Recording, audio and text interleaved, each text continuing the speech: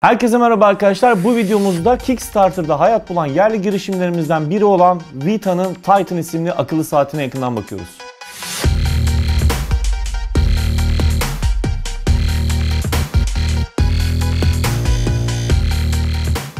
Yanlış duymadınız arkadaşlar şu anda elimde Kickstarter'da hedeflenen bağışın çok daha fazlasını kazanmış olan bir girişim var.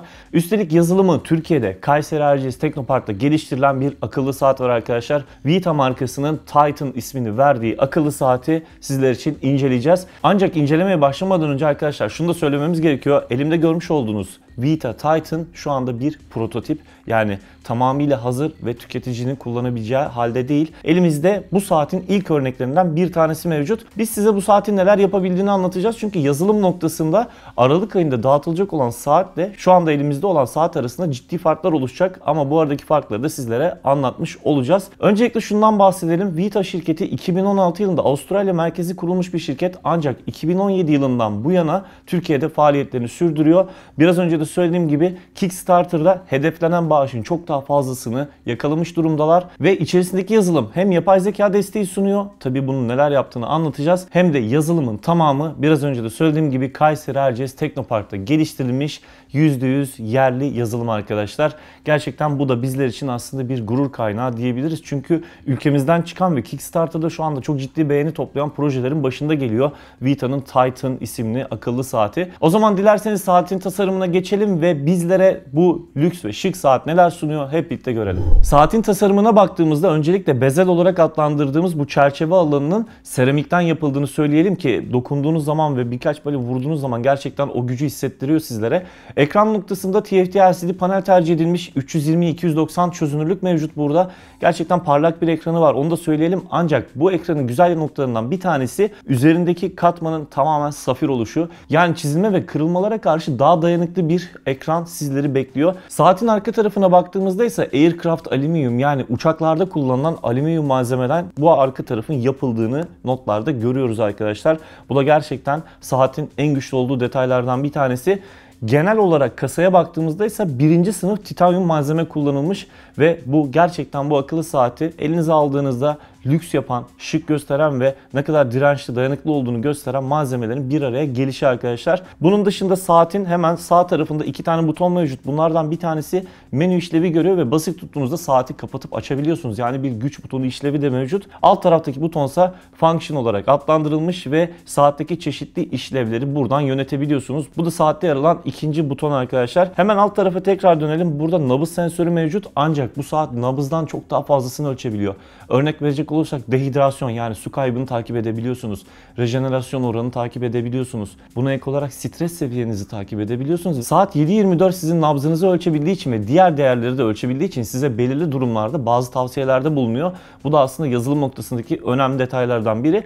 Bir diğer detaydan daha bahsetmemiz lazım. Saatin 46 mm'lik bir çapa sahip olduğunu söyleyelim ve saatin kordonları değiştirilebiliyor arkadaşlar. Yani şuradaki kordon mekanizması sabit değil. Ancak yıldızlı ince bir tornavida ile birlikte bunları çıkartıp yeni kordonları takabilirsiniz. Elimizde maalesef şu anda alternatif bir kordon mevcut değil çünkü bir prototiple karşı karşıyayız. Ancak Aralık ayından sonra bu aksesuarlar da satın alınabilir durumda olacak. Elimizde siyah renkli kordona sahip olan bir model olduğunu söyleyelim. Kordonun iç tarafındaki Vita baskısı da gerçekten güzel olmuş ve güçlü bir kordona sahip olduğunu da belirtmek lazım. Şöyle çekiştirdiğinizde çok fazla esnemiyor. Yani size direnç gösterebilen bir kordon. Baştan sona baktığımızda hem fiziksel anlamda hem de diğer donanım özellikleriyle birlikte son derece dayanıklı, spor faaliyetlerine uygun veya biraz daha ekstrem sporlarla uğraşacaksanız burada da size rahatlıkla eşlik edebilecek bir akıllı saat olduğunu söyleyebiliriz Vita'nın Titan modelinin arkadaşlar. Batarya noktasına geçelim dilerseniz. Burada 530 mAh bir bataryaya yer verilmiş ve şirketin de iddiasına göre tam 14 güne kadar pil ömrü sunuyor. Tabii ki bu sizin kullanım koşullarınızla değişebilecek detayların arasında. Çünkü bu cihazda GPS ve GLONASS desteği mevcut. Siz herhangi bir spor faaliyetine başladığınızda bu iki sensör otomatik olarak devreye giriyor ve burada sizin yaptığınız takibi, yürüme mesafenizi ve daha çok fazla şeyi GPS ve GLONASS desteğiyle birlikte ölçümleyip takip edebiliyor. E tabi bu da batarya noktasında sizin biraz daha kullanım sürenizi kısaltacaktır. Ama 14 güne kadar varan pil ömrü vaadi bile gerçekten heyecan verici ki piyasadaki diğer akıllı saatlerin 2 gün 3 gün seviyesinde pil ömrü sunabildiğini düşünecek olursak 14 gün gerçekten çok çok iddialı bir süre. Şimdi 14 gün süreden bahsettik. Saatin şarjı uzun gidiyor. Peki saati nasıl şarj ediyorsunuz? İşte burada ilginç bir dizayna gidilmiş arkadaşlar. Şöyle kelepçe usulü biraz böyle kapana benzeyen bir şarj cihazı mevcut. Şarj cihazın alt noktasında iki tane şarj pini var. Zaten buradaki saatin içinde yer alan şarj pinleriyle birlikte bunu eşleştirdiğinizde şu şekilde kapattığınızda saat şarj olmaya başlıyor ve sabit bir kablo olduğu için bunu bir adaptöre veya bilgisayara bağlamanız yeterli olacak. Bu şekilde şarj edebiliyorsunuz arkadaşlar. Şöyle tekrar göstereyim. Şurada iki tane küçük pin var. Yapmanız gereken tek şey bu. Ve bu USB kablosunu ise bir güce bağlamak. Bu bilgisayar veya adaptör tamamen sizin tercihiniz. Tabi powerbank de kullanabilirsiniz. Hemen onu da söylemiş olalım. Şimdi dilerseniz biraz da yazılım özelliklerinden bahsedelim. Çünkü bu noktada da saatin gerçekten öncelikli olarak Kayseri Erciyes Teknopark'ta geliştirilmiş olması yani yerli bir geliştirme ve yerli bir yazılım olması bizim gerçekten övüneceğimiz, gurur duyacağımız bir detay. Saatin içinde şirketin kendi geliştirmiş olduğu bir işletim sistemi var. Vita OS şeklinde geçiyor şu anda ve şu an elimizdeki prototipte gerçekten yazılımın da beta sürümünde olduğunu söylememiz lazım. Mobil işletim sistemleri noktasında da iOS ve Android için ücretsiz yayınlanan bir Vita uygulaması var. Bunu zaten açıklamalar kısmında link olarak bırakacağız. Oradan da uygulamaya bakabilirsiniz. Her iki işletim sisteminde de ücretsiz olan uygulamayı telefonunuza kurduktan sonra saate eşleştirmeniz gerçekten çok kolay. Ancak elimizdeki saatte şu an bir beta sürümü olduğu için yani işletim sistemi satışa hazır halde olmadığı için ve de saat prototip olduğu için bazı fonksiyonlar çalışmıyor ama dilerseniz hangi fonksiyonları yer aldığını da söyleyelim. En azından final sürümünde nelerin olacağını da böylelikle önceden bilmiş olacaksınız. Birincisi her akıllı saatte olduğu gibi çok ciddi bir bildirim sistemi var. Burada gelen aramalar, e-posta, WhatsApp mesajları vesaire gibi birçok şeyin bildirimini bu akıllı saat üzerinden alabileceksiniz.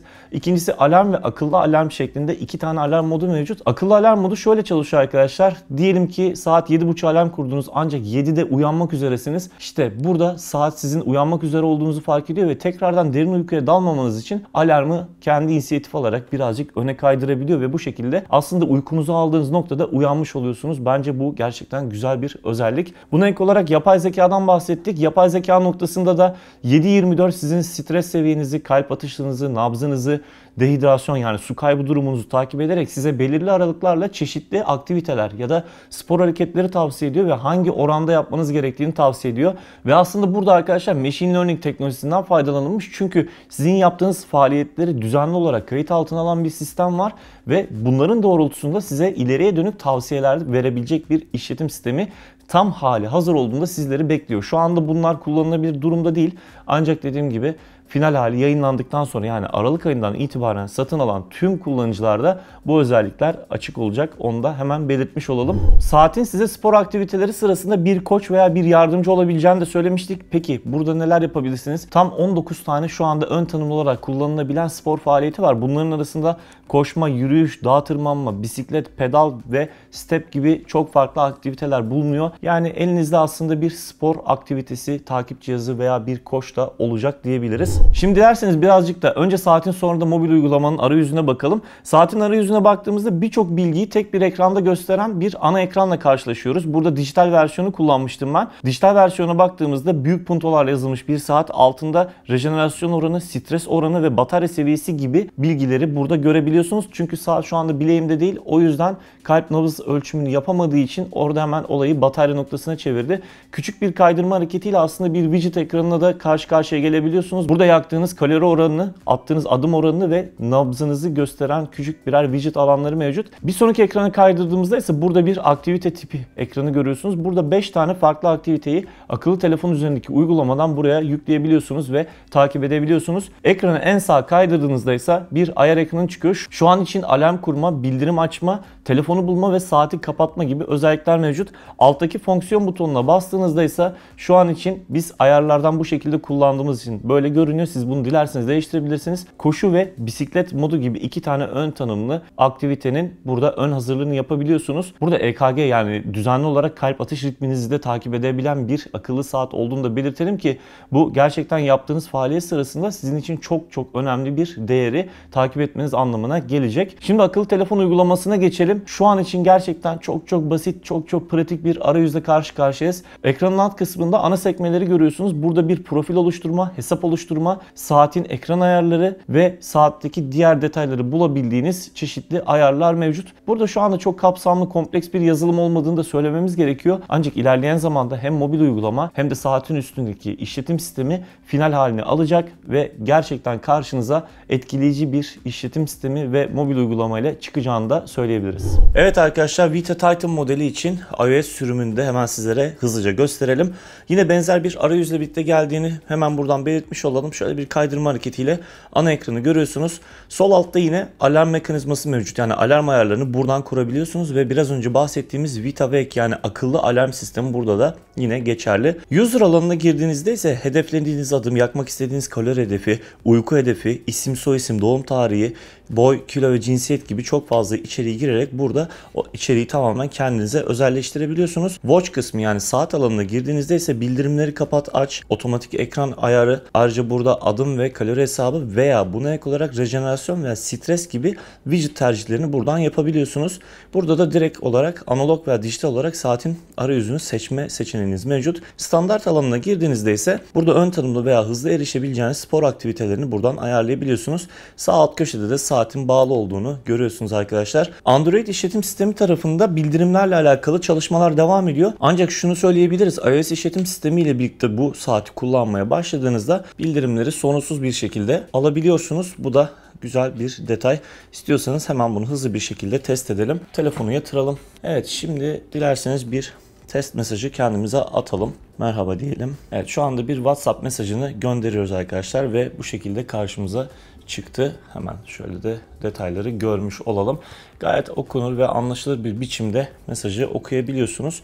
Bu açıdan da oldukça iyi olduğunu söyleyelim ki burada sadece mesaj bildirimi değil arama bildirimlerini de alabiliyorsunuz. Hemen dilerseniz bunun içinde bir sizlere örnek gösterelim. Şu anda evet arama geldi arkadaşlar gelen arama şeklinde. Dilerseniz aramayı buradan reddedebiliyorsunuz. Çünkü bir e, mikrofon veya hoparlör olmadığı için saat üzerinden konuşmanız mümkün değil. Biz buradan direkt reddete bastığımızda aramayı iptal ettiğini görmekteyiz. Kickstarter'da hayat bulan çok güzel bir projenin ürünü elimizde arkadaşlar. Kısaca sizlere aktarmaya çalıştık. Saatin final sürümü, final yazılımı çıktığı zaman aslında ben bu saat tekrar deneyimlemek istiyorum. Çünkü gerçekten heyecan verici bir saat. Özellikle Kickstarter'da dediğim gibi bunun herkes tarafından beğenilip beklenen, hedeflenen bağışın çok çok üstüne çıkması da aslında bu saatin ne kadar heyecan yarattığının en güzel örneklerinden bir tanesi. Ama işin en güzel noktası da şu ki videonun başında da söylediğimiz gibi yerli bir yazılıma sahip oluşu. Kayseri Erciyes Teknopark'ta bu yazılımı geliştiren herkese buradan hem tebrik ediyoruz hem de teşekkür ediyoruz. Umarım çok daha gelişmiş yazılımlarla birlikte bu saati çok daha işlevsel, çok daha başarılı hale getirirler ki buna inancımızın da tam olduğunu buradan söylemiş olalım. Evet Vita'nın Titan adını verdiği saatle alakalı söyleyebileceklerimiz şimdilik bu kadar. Final sürümünü açıkçası ben de çok merakla bekliyorum. Bunu da net bir şekilde söyleyebilirim. Bir başka videoda görüşmek üzere arkadaşlar. Hoşçakalın. Kendinize iyi bakın.